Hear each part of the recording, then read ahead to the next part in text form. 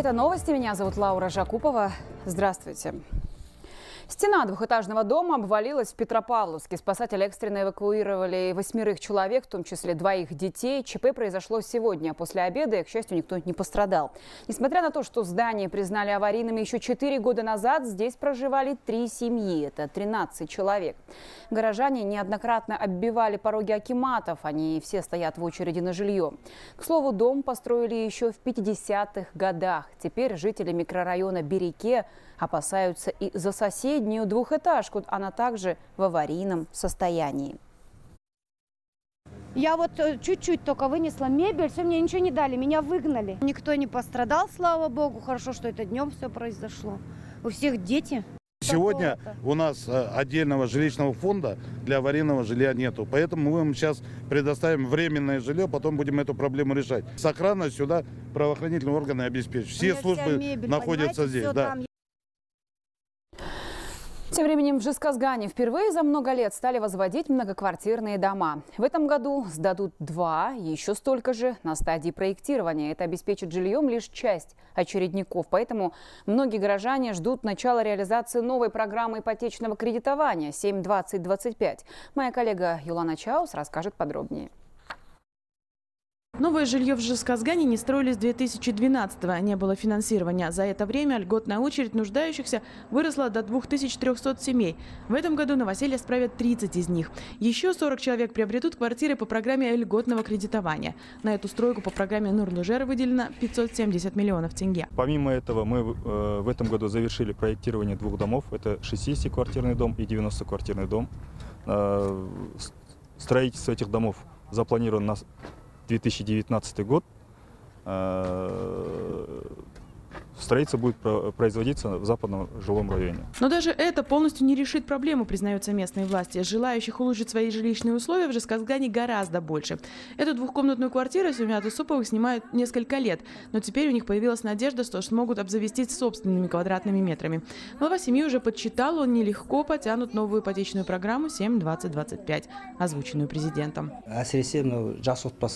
Мы молодая семья и дети маленькие, поэтому, конечно, хочется, чтобы у них был свой дом, своя, а не съемная квартира. Поэтому, когда услышали о пяти инициативах президента, что там есть решение нашей проблемы, обрадовались. Теперь вот ждем, когда начнут давать ипотеку. Местные власти уверены, новая ипотечная программа способна привести к настоящему строительному буму в городе. Земельные участки под новые дома со всеми необходимыми коммуникациями уже есть. Илана Чаус, Василий Савкин, Асета Саинов, Карагандинская область, Хабар 24. За последние три месяца в Астане оштрафованы водители на сумму 258 миллионов тенге. Еще 200 миллионов нарушители ПДД остались должны. Такие данные привели в столичном управлении административной полиции. В целях усиления контроля за выплатой штрафов 69 единиц автотранспорта водворены на спецстоянку. Параллельно вводятся стимулирующие меры для своевременного погашения штрафов. Человек может оплатить 50% от э, общей суммы штрафа в течение 7 дней с момента получения заказного письма. Если, допустим, э, граждане не будут оплачивать, допустим, в течение 30 дней, данный штраф передается судебному исполнителю и могут наложить, налагать арест на движимое, недвижимое имущество, на карточные счета, вплоть до выезда за пределы Казахстана. Тем временем в Жамбылской области водители недовольны участком дороги на перевале Куюк международного транзитного коридора Западная Европа, Западный Китай. Возмущение вызывают затяжные подъем и спуск. Полицейские считают этот подъем опасным, а потому там установили запрещающие знаки. Теперь грузовые автомобили вынуждены ехать по объездной изношенной дороге. Осет Смаилов занимается грузоперевозками. В направлении Тарас-Шимкент ездит три года. Путь водителя как раз пролегает через перевал Куюк, автомагистрали Западная Европа, Западный Китай. Но насладиться хорошей дорогой он не может. 10 километров пути пролегает через затяжной подъем. Построили такую дорогу, что по ней нельзя ехать международной машиной. Летний период только на 6 месяцев подниматься можно, зимний период закрывать. С апреля месяца ни снега, ни гололета нет, разрешили выезжать. По словам полицейских, зачастую на подъеме у автотранспорта отказывает тормозная система, что приводит к дорожно-транспортным происшествиям. Проведенный анализ дорожно-транспортных происшествий показал, что на данном перевале произошло около 20 дорожно-транспортных происшествий где 18 человек погибло и 68 человек получили э, ранения различной степени тяжести. Так, в целях обеспечения безопасности дорожного движения по согласованию с Комитетом административной полиции и АО НК «Казахавтожол» было принято решение об установке указанных дорожных знаков, то есть на подъем и на спуск. После установленных знаков водители грузового автотранспорта вынуждены ездить по старой дороге. Объездной путь словно испытание на выносливость. Отнимает много времени и затраты на ремонт, говорят водители. Везде яма, не знаешь, какую яму переехать, чтобы на другой не попасть. Особенно, когда дождливая погода будет, там застрянешь, буксуешь. Хотя бы подсыпали или залатали, я не знаю. Невозможно подниматься, спускаться. Сделали нормальную дорогу, не разрешают ни спускаться. Подниматься иногда разрешают. А здесь уже невозможно, по колено ямы. Ходовая часть летит постоянно. Стекла бьются. Я уже три фары поменял из-за этого. В Жамбылской области общая протяженность международного транзитного коридора Западная Европа, Западный Китай составляет 495 километров. Интенсивность движения в сутки более 7,5 тысяч автотранспортных средств. По словам ответственных специалистов, автомагистраль спроектировали согласно нормативам строительства дорог Республики Казахстан. А про положение старой дороги им известно. При сдаче в эксплуатацию автомагистрали была создана специальная комиссия. В данный момент объездная дорога требует ремонта. Мы уже разработали проектно-сметную документацию и приступим к работе. Как нас заверили, в этом году на объездной дороге перевала Куюк проведут средний ремонт. На эти цели уже предусмотрено 290 миллионов тенге. Анастасия Сулейманова, Тимур Силхан, Руслана Хатила, Жамбылская область, Хабар 24. Как отечественная наука может реально повысить эффективность сельского хозяйства? Этот вопрос обсуждали в Алматы на встрече ученых с вице-премьером страны Омерзаком Шукеевым. Речь шла о реформировании аграрной науки и внедрении цифровых технологий. Это обеспечит фермерам доступ к качественным семенам и современной сельхозтехнике, а также позволит получать высокие урожаи. Примеры тесного сотрудничества науки и товаропроизводителей уже есть. На сегодня в НИИ механизации и электрификации сельского хозяйства разработаны различные виды почвообрабатывающей техники. Ежегодно по заказу фермеров здесь выпускают до 70 единиц. Их можно приобретать в лизинг. Государство планирует субсидировать часть процентной ставки по кредитам.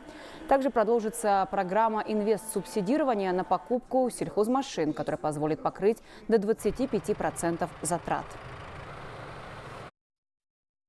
Сейчас уже можно смело внедрять 84 разработок. Где она будет использована, где она будет применена. Мелкие, средние товаропроизводители, они как раз э, наши разработки востребованы ими но, к сожалению, их вот эта производственная база, их мощности, их финансовое состояние сегодня не позволяет их максимально использовать вот эти разработки в своем производстве. Мне кажется, чтобы э, сельхозтоваропроизводитель нормально заработал, было бы внедрение льготных систем кредитования.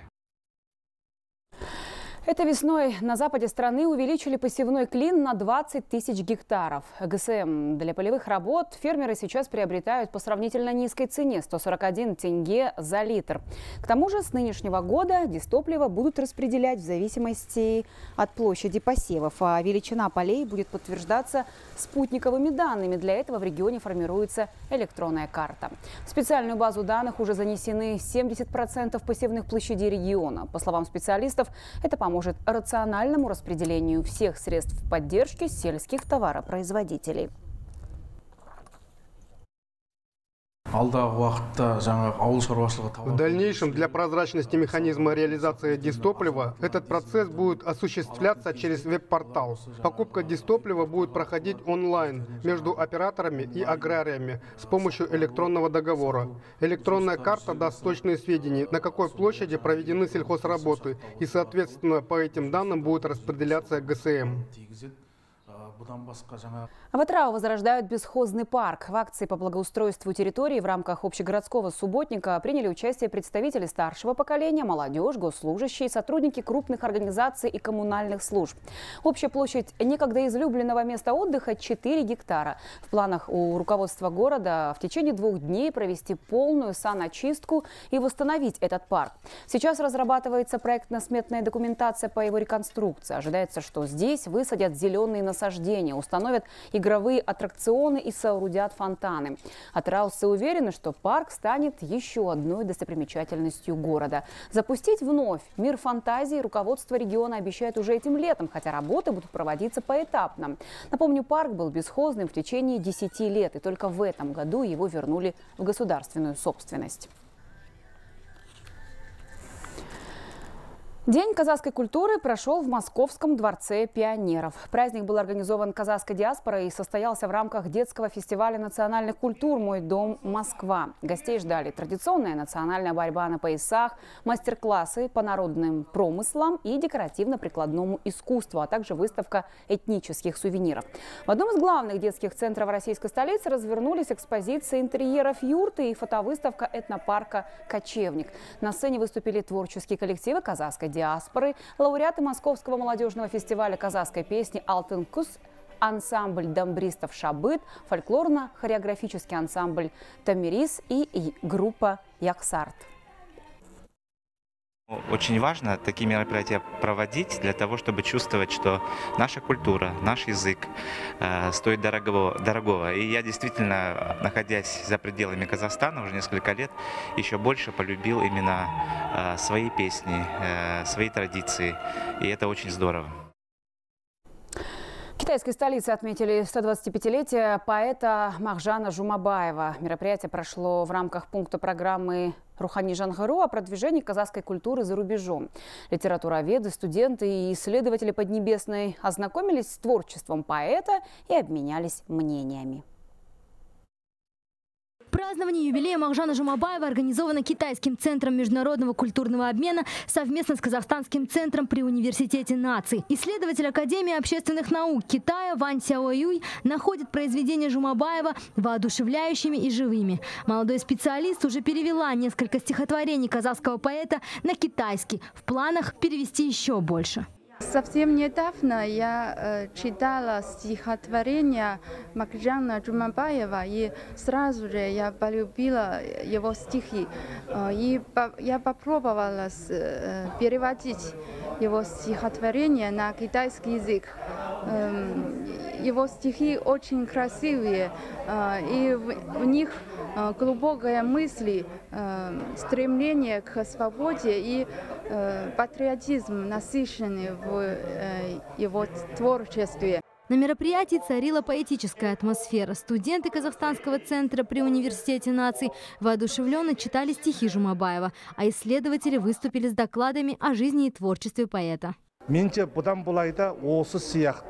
Считаю, что мы должны и дальше проводить такие интересные события, посвященные памяти поэтов и писателей, культурных деятелей, выдающихся личностей Казахстана и Китая. Таким образом мы укрепляем культурный взаимообмен между нашими странами. До тех пор, пока будут проходить такие встречи, и поколение за поколением в разных странах мира будет читать стихотворение поэта и помнить его наставления, память о Махжане Жумабаеве будет длиться вечно, уверены организаторы мероприятия. Айдана Крибжанова, Нурбек Бейкен, Жансюй, Хабар 24, Китай.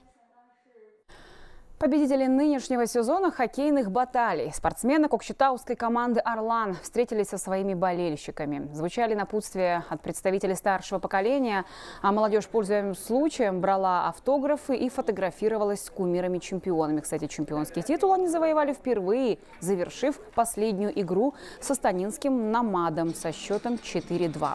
Тренеры поделились планами. В будущем ожидаются изменения в составе команды.